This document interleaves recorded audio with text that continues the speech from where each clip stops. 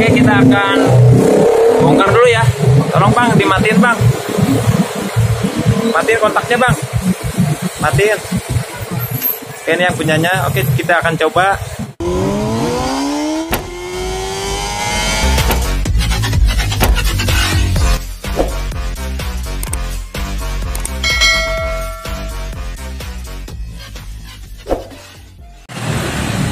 Assalamualaikum warahmatullahi wabarakatuh. Jumpa lagi dengan Alan Tobing di channel Alan Tobing juga. Di video kali ini kita akan berbagi atau memberikan tutorial cara Memperbaiki Ninja 250 Jadi Ninja ini Radiatornya cepat habis ya. Makanya di video kali ini kita akan memberikan tutorial cara Memperbaiki penyebab atau kendala motor Ninja 250 air radiator cepat habis ya. Oke, jadi kendalanya di sini, Bro. Namun sebelum video selanjutnya, jangan lupa saya ingatkan like, comment, dan subscribe ya agar kita lebih semangat lagi dalam membuat konten-konten yang bermanfaat. Yang sudah bergabung saya ucapkan banyak-banyak terima kasih dan yang belum bergabung silahkan bergabung dan saya ucapkan juga banyak-banyak terima kasih. Jangan lupa ya subscribe channel Antobing agar saya lebih semangat lagi dan membuat konten-konten yang bermanfaat. Oke, lanjut ke tema cara menganalisa ya atau memperbaiki Ninja 250 air radiator cepat habis dan mesin overhead ya cepat panas. Jadi setelah kita cek sini bro ya atau kita hidupkan dulu kendalanya bocornya dari mana. Oke, kita hidupkan dulu.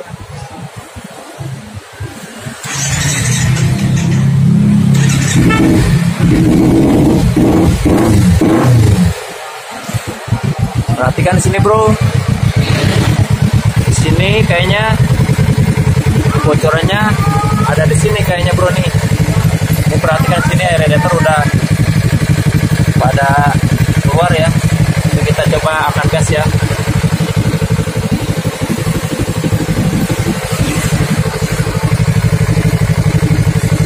Oke bro, belum keluar ya. Perhatikan sini nanti dia akan keluar ya. Akan kita gas dulu.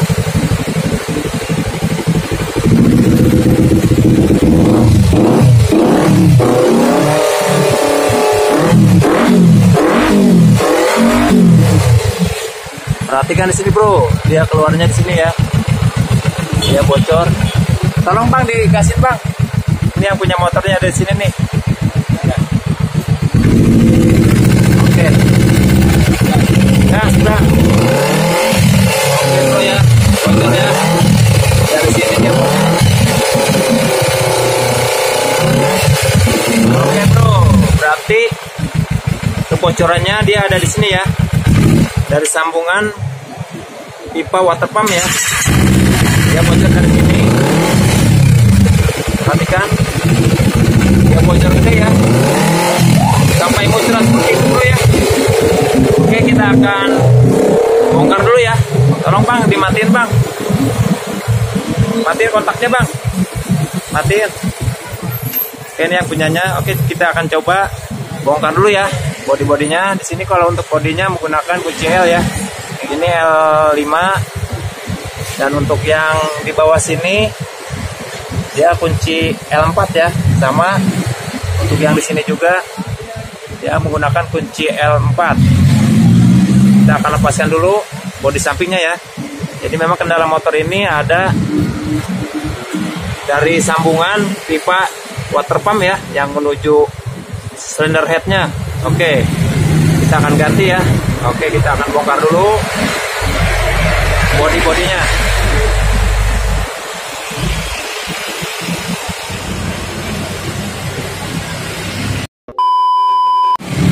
Oke bro ya ini body-bodinya atau body sampingnya udah kita lepaskan.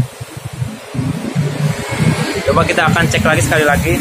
Kita akan hidupkan lagi biar jelas kelihatan bocornya.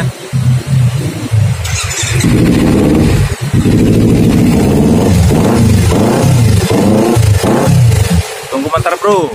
Ya aduh.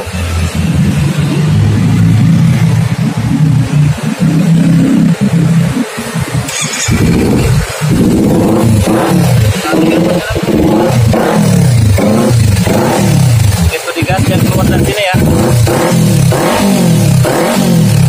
Oke bocor dari sini ya. Berarti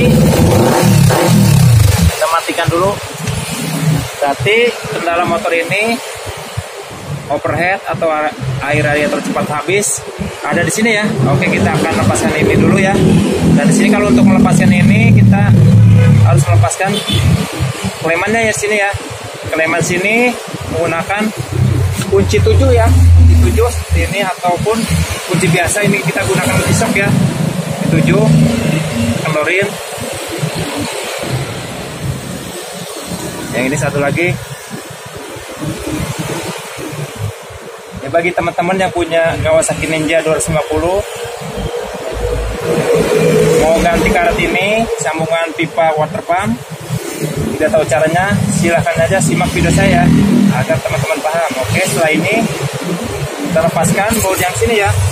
Ini bautnya gunakan kunci D8 ya. Tuh jagain lagi yun aja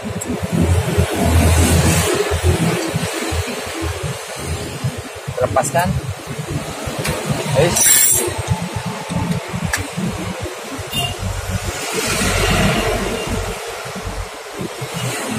oke bro. Lagi kita tarik aja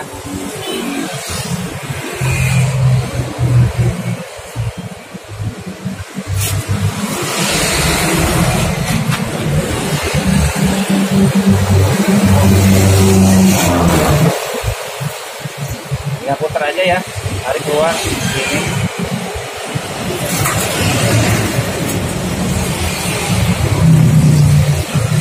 Bro ya kendalanya dari sini nih kita lepaskan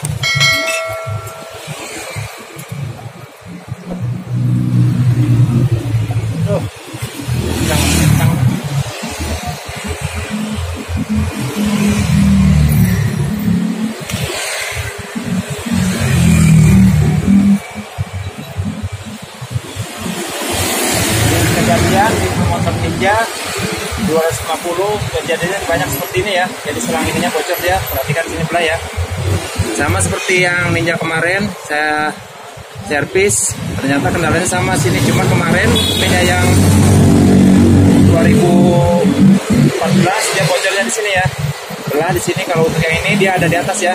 Kita akan cari kita akan ganti ininya ya. Kalau kemarin kita ngakalin di video yang kemarin kita akalin ininya kita ganti menggunakan selang biasa ya. Tapi yang sekarang yang punya motornya pengen yang aslinya. Sekarang kita akan nyari dulu ininya ya. Ada sambungan pipa water pumpnya ya. Oke nanti kita akan pasang ya. Oke kita akan tunggu dulu. Akan beli dulu ininya ya. Oke bro. Oke bro ini ya. Nah, sambungan pipa water pumpnya baru datang. Ini nyarinya susah bro. Sana sini nggak dapat sekarang ini udah datang Kawasakinya ya. Ini ini yang bekasnya belah ya.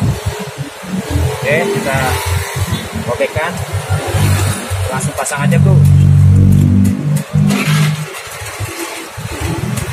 bagi teman-teman yang mau pasang sendiri tidak tahu tata caranya aja video saya ya agar teman-teman paham. Oke.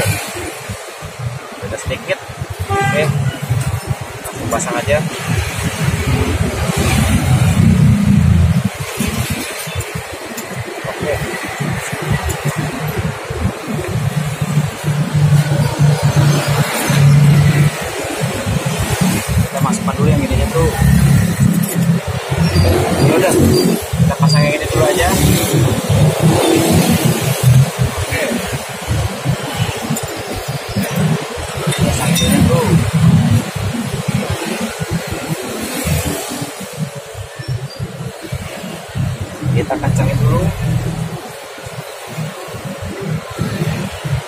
menggunakan kunci 8 ya. Kalau nggak ada bisa kunci ring 8 ataupun kunci pas 8 sama aja.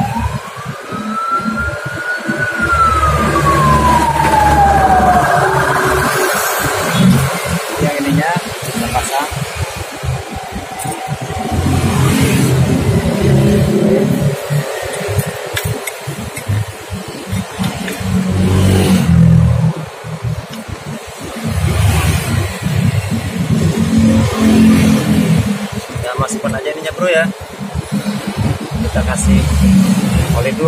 lancar masuknya O-ringnya kita kasih oli.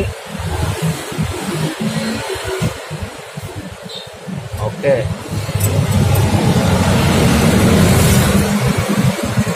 Ya dorong aja, Bro. Oke. Dorong lagi nih ya biar pas. Kita pasang dulu bautnya. Kita cek dulu yang bawah ya.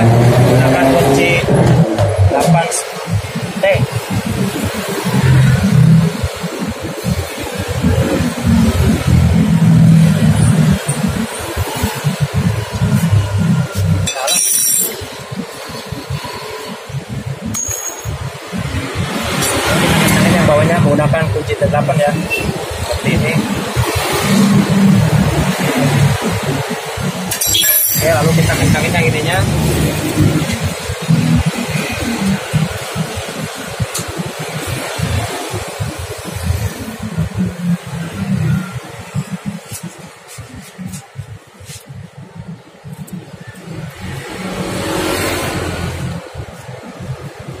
Oke, tinggal, pakai gagangnya biar kencang, bro.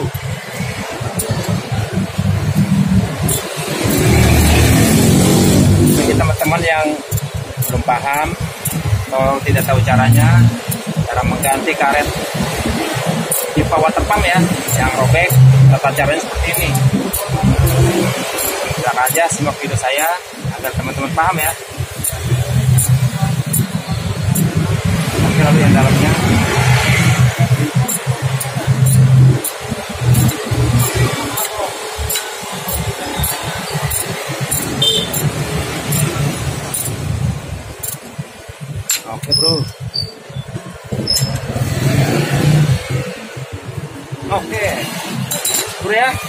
tinggal kita isi air radiatornya. Di video kali ini kita hanya memberikan tutorial cara masang karet atau sambungan pipa water pump ya. Di motor Kawasaki Ninja 2.5 mudah-mudahan video ini bermanfaat. Kalau untuk cara perapiannya kita tidak videokan ya karena memang durasinya terlalu lama. Sampai di sini aja video dari saya mudah-mudahan bermanfaat. Dan berguna untuk teman-teman di mana berada dan sudah like, komen, dan subscribe. Dan teman banyak-banyak terima kasih. Jangan lupa ya tombol loncengnya sedikit agar teman-teman sekalian mendapatkan notifikasi berita-berita terbaru di seputar dunia otomotif. Oke terima kasih. Wassalamualaikum warahmatullahi wabarakatuh